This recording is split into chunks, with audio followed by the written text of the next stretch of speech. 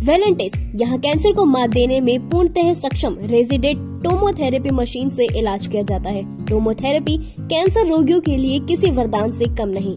Cancer मरीजों के लिए समर्पित उत्तरी भारत का एकमात्र hospital, Valentis, Mawana road, Mussoorie, Meerut. नमस्कार, आप देख रहे हैं फ़र्स्ट राइट टीवी और मैं हूँ आपके साथ सिया।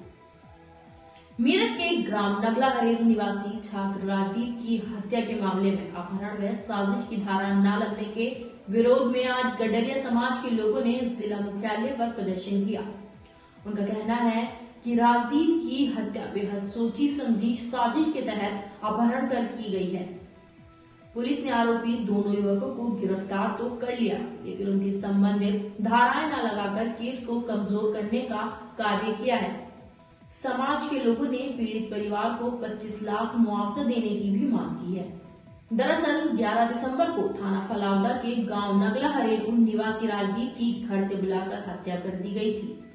राजदीप कृषक इंटर कॉलेज मवाना में बारहवीं का छात्र था। कुंडा वाले रास्ते में की गई इस हत्या में कपिल भाटी और आदित्य को नामजद किया गया था। पुलिस ने उन्हें गिरफ़्तार कर जेल भेज दिया था। आज जिला मुख्यालय पर पहुँचे समाज के लोगों से फ़र्स्ट बाइट संवाददाता नीलोफर अंसारी ने ये बात की। क्या आपका नाम है और आप यहाँ क्यों आए हैं? मेरा नाम भूपेंद्र पाल है। हम मेरठ के निवासी हैं और हमारा जो एक भाई है राजदीप उसकी कुछ लड़कों ने बुला के हत्या कर दी। उसको पहले अपहरण करा और दो लड़के उसको बुला के ले गए और दो लड़कों ने मतलब ग्यारह तारीख में उसकी हत्या कर दी। तो आप किस मामले मतलब किस लिए आए हैं? यहाँ आप उनको इंसाफ दिलाने के लिए मतलब गिरफ़्तार नहीं हुए वो अभी तक? नहीं दो की गिरफ्तारी हो गई है। उसमें क्या है कि 302 का मुकदमा दर्ज हुआ है। हम्म, जबकि उसमें दो तीन धाराएँ और लगनी है। जो धाराएँ हैं एक तो अपहरण की है और जो इन्होंने सोची समझी साजिश से जो इन्होंने मर्डर करा है उस केस में। अच्छा पहले से कोई दुश्मनी थी? किस लिए किया नहीं नहीं नहीं दुश्मनी कुछ नहीं थी पर बस अपनी बदमाशी दिखाने के लिए अपना वर्चस्व बनाने के लिए उन्होंने ये काम करा। अच्छा अब अभी आप किसके पास गए थे? क्या गुहार लगाई अभी हम डीएम साहब को हमने ज्ञापन दिया है। हमने एसपी देहात को दिया है और आगे जो भी है आईजी वगैरह एडीजी जो है उन्होंने क्या आश्वासन दिया इस चीज़ को उन्होंने कहा है कि हम पूरा साथ देंगे आप लोगों का जो भी कार्रवाई है वो करेंगे। अब देखते हैं हमारा पुलिस प्रशासन कितना साथ देता है और हमारी ये सरकार कितना साथ देती है। मेरा निवास पल्लवपुरम मोदीपुरम में है। हम एक मामले को लेकर आज कप्तान साहब से डीएम साहब से एसपी देहात साहब से मिले हैं अभी जिसमें कि एक राजदीप लड़का है ग्राम नंगला हरेरू विधानसभा सदना के अंदर 11 तारीख को उसकी मृत्यु कर दी गई मर्डर कर दिया गया। दो यु, दो युवक उसमें गिरफ़्तार हो चुके हैं तीन सौ दो की धारा उन पर लिखी गई है। दो युवक उसमें रह चुके रह गए हैं अभी जो कि गाँव नंगला हरेरू के ही हैं।